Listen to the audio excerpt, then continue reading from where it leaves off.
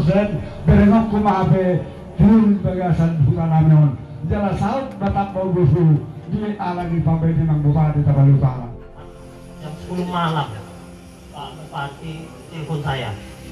Ini Pak Bupati ini kapan tidurnya ini? Saya bingung. Semua pikirannya murni untuk rakyat. Dusun hari ini langsung dibuat sunat oleh Pak Bupati super prioritas bukan lagi prioritas super prioritas.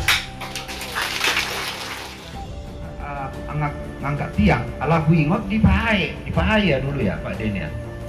Di Pahaya ngangkat tiang warga kan? Karena jalan setapak mereka mengeluh listrik tidak masuk sudah berpuluh tahun sama seperti kita. Saya telepon pelet oke kami masukkan Pak Bupati. Tapi nggak bisa masuk roda empat. Bagaimana Pak saya datang ke sana nanti saya ikut manggul saya bilang Merdeka! Merdeka!